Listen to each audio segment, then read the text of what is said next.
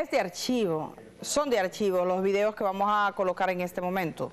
Son videos o parte de cuando se conoció aquí en el país el proceso Pulpo que llevó al banquillo de los acusados a dos hermanos del expresidente de la República, Danilo Medina, al señor Francisco Pagán, al mismo eh, Julián eh, Suazo, eh, que aparece ahora involucrado en este proceso de venta de combustibles a la Policía Nacional, y a un grupo de personas, al, varios titulares relevantes e importantes. Entonces, pero como lo que nos, nos ocupa esta mañana es la investigación de la Cámara de Cuentas con respecto al tema de los combustibles, eh, busqué los momentos en que a uno de los, eh, de los titulares que suscribió en representación de la empresa, el señor eh, Julián Suazo, Suriel Suazo, suscribió el contrato. La Cámara de Cuentas dice que esa empresa, en realidad su principal accionista es el señor Alexis Medina. Pero vamos a recordar de que se le acusaba a Suazo y que él respondió porque él tuvo la oportunidad bastante elocuente de hablar y posteriormente, según los, datos, en una audiencia con posterioridad al conocimiento de este juicio, llegó a algún tipo de acuerdo con el Ministerio Público y hoy está en su residencia, pero vamos a recordar de qué se le acusaba en ese momento, solo una referencia parcial, porque fueron audiencias muy largas en realidad. Elementos que quizás se han tocado y se han tocado de forma superficial en el caso, y que es parte de todo, la destrucción de pruebas. 29 de noviembre, allanado Julián, ocupado los pertrechos militares, ocupado casi un millón de dólares en efectivo y 8 millones de pesos dominicanos en otra de las cajas, por intermedio de personas allegadas a él,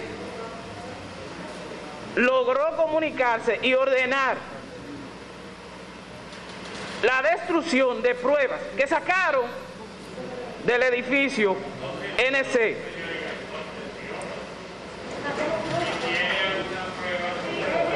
Dos. Momentito. Perdón, perdón, perdón. Sí.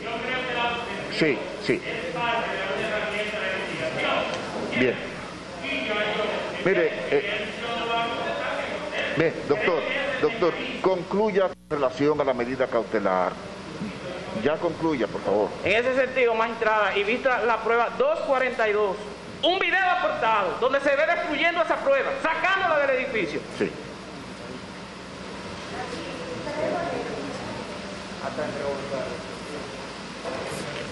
...242, magistrado. Prueba 242 del expediente.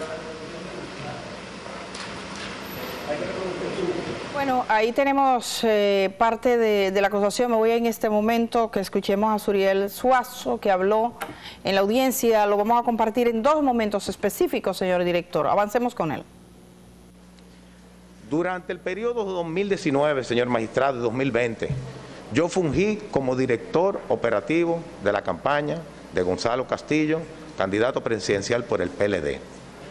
Dentro de mis funciones, yo recorrí el país completo, lo recorrí varias veces. Y dentro del comando de campaña del señor Gonzalo Castillo, se me asignó a mí a un oficial, el señor Braulio Caraballo, que era la persona encargada de mi seguridad. Y a ese señor se le asignó ese fusil que yo hacen referencia, una pistola 9 milímetros, dos chalecos antibalas y la cantidad de cápsulas que ellos mencionan. Yo nunca He andado con un arma de fuego, eh, señor magistrado. Las armas de fuego a mí no me gustan y no es costumbre de nosotros ni de mi familia andar con armas de fuego.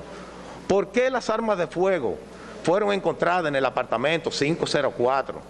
Al terminarse la campaña, señor magistrado, y ya retirárseme el señor Braulio Caraballo como parte de mi seguridad, como los documentos que le presentarán mis abogados, yo le pido al señor Caraballo que como no tenemos orden de dónde vamos a entregar esa arma, que la lleven al depósito, que la lleven al depósito familiar.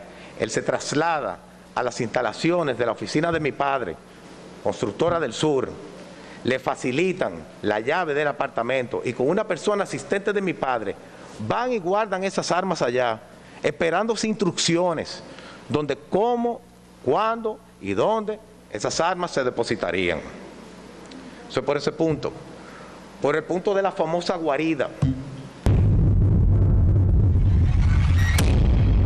Bueno, eh, recordemos que en ese momento, cuando estaba el conocimiento de la medida de coerción, probablemente uno de los elementos que más complicó la, digamos que la situación procesal de, de Suriel Suazo fue eh, el tema de las armas, de la ocupación de un fusil, porque el, juez consideró que no había una explicación suficiente para eh, explicar, que, avalara la razón de esas armas estar ahí y lo mandó a prisión, pero posteriormente hubo un tipo de, negociación o acuerdo y ya sabemos lo que ocurrió.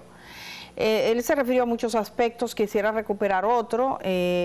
cuando él habla de la guarida se refiere iba a hablar de una oficina que era estaba en la avenida 27 de febrero 328, si no me equivoco, donde tenía sus oficinas y dan referencia la mayor parte de las empresas de Alexis Medina.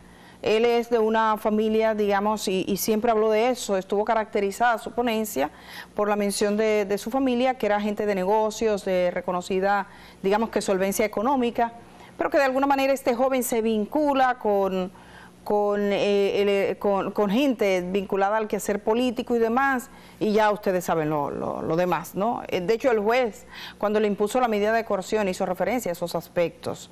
Vamos a escuchar eh, otro, otro de los momentos. él era la persona que figuraba como representante de la empresa, que era de Alexis Medina, según la Cámara de Cuentas, y que tuvo a su cargo suplir de combustible a la Policía Nacional bajo el mandato en ese momento del general eh, Peguero, Peguero Paredes, que venía de la, del área de las, de, la, de las Fuerzas Armadas, cosa que no se daba desde hacía tiempo, no era un policía de formación, era más bien un militar, y fue designado, eso había ocurrido antes, eh, la última vez en el país, con eh, Pedro de Jesús Candelier, pero cuando llega él en el año 2015 y entonces pasa esto. Él no ha sido cuestionado, que yo sepa, no, no hay una evidencia de que el Ministerio Público le haya hecho ninguna pregunta al general, pero sí mencionó ese periodo, pues mencionó que la policía tenía unos negocios de combustible y mencionó que, eran del señor Alexis Medina. Vamos a recordar otro momento donde habla eh, Suriel Suazo.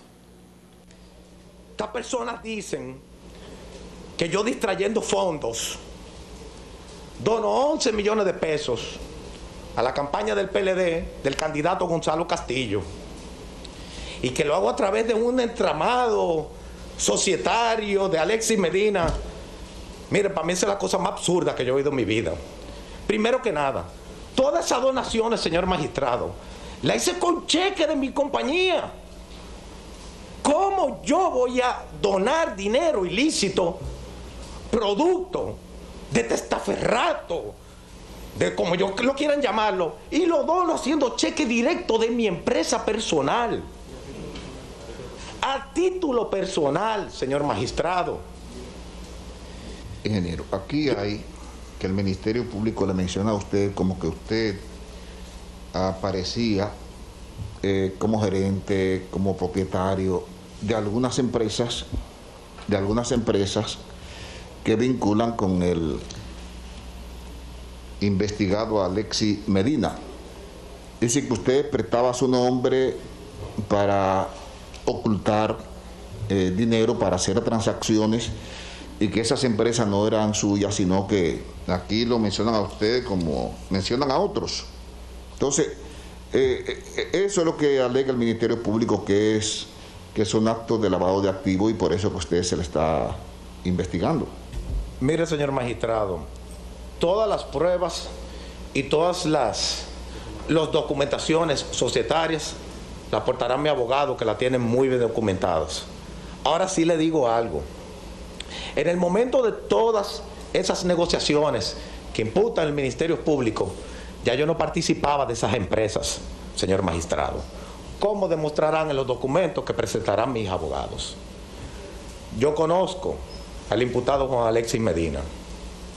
Yo traté de hacer negocio con el imputado Juan Alexis Medina incompatibilidad de caracteres no me permitió hacer negocio con el imputado Juan Alexis Medina.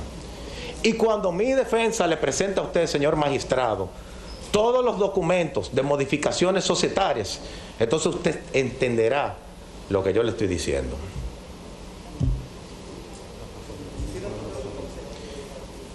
El tema de los pasaportes. Dame la última. Mire. Bueno, eh, básicamente como se trata de una empresa, quise ponerlo, que él dice que hubo cambio societario y que ofreció documentación, eso será visto después.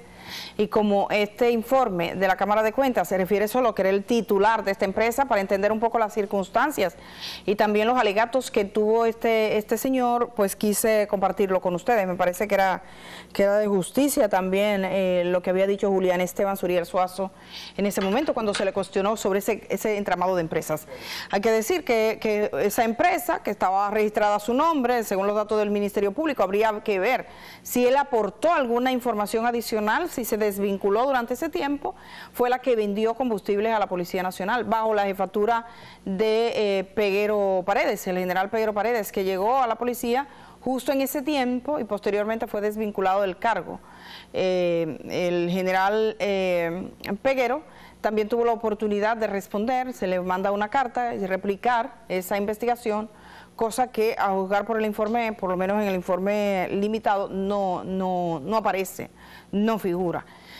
Bueno, pues eh, ya saben, ese es un punto más, el de los combustibles. Vamos a ir a la pausa. Cuando regresemos, quiero que llevemos un vistazo, aunque sea rápido y tengamos que regresar mañana por el tiempo, al tema de, del dolor de cabeza de este país, porque la reparación de 56 hospitales, eso sí que hundió el sistema hospitalario. En el Ceibo todavía están eh, trabajando y eso no se acaba. Eso es un infierno sin fin. Mucha gente ha muerto en este país producto de esa lentitud y desidia que en parte, no en todas sus partes, queda documentado en la siguiente investigación. Hacemos la pausa.